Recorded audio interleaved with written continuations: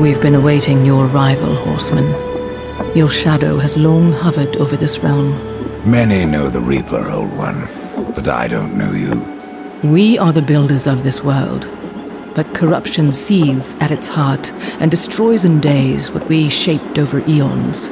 Eideard does his best to soothe our pain, but our souls yearn for only one comfort death. We are without hope. You despair, Old One, and yet raise life from the earth. I am a shaman, bound to this task even as our days darken. We are as the vines, coming to root, then to flower, and then to decay, dropping seeds upon the dust. A circle everlasting. I cannot stop it, nor can I stop you. Tell me, Shaman, what is corruption? I only know what I fear it to be. That corruption is hate, given life, and that hate does not come from trees or stones, but from ourselves. Tell me more about the Tree of Life. The forest around the tree has been corrupted. It hungers. You cannot reach the tree, not with breath still in you. Horseman, do you ever doubt your future? No. So one like yourself would set out to change a fate that displeases him. That is a long and dangerous path, even for death himself. How is that your concern, Shaman? Only that I am skilled at crafting talismans. If you gather the proper materials and return them to me, I'll make a potent talisman to aid you on your journey. What do you require? Stalker's bone, mordant dew, and carven stone. It is not a simple charm. Where can I find them? Somewhere in the Forge Lands. I rarely leave Tristone, but that Pup Karn is always out exploring. He can tell you more, no doubt. The path of a brother troubles you. It is your past, but also your future.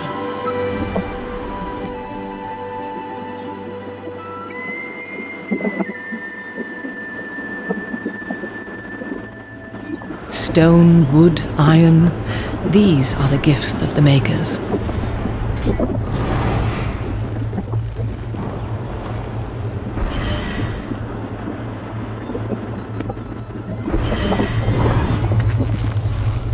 You, what was old, is new again.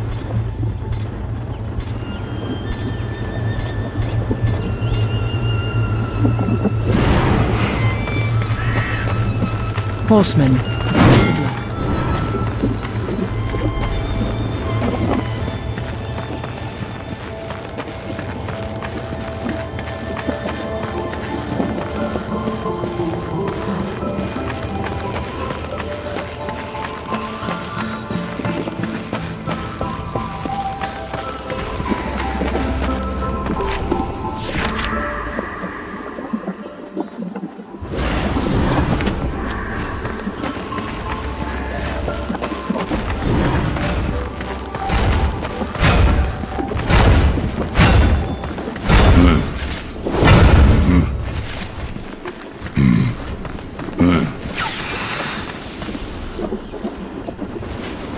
Maker's beard. The rumours are true. A horseman in the Forge lands. The name's Alya, and that's my brother Valus. We are the keepers of this forge. Though I reckon that means less now than once it did. This is a Maker's Forge. Nay, the Maker's Forge is lost to us, silenced by the hands of corruption. But in its depths we once crafted the dark towers of hell and the cities of heaven. Now you make trinkets? And you, one of the four, now seek the aid of the Makers?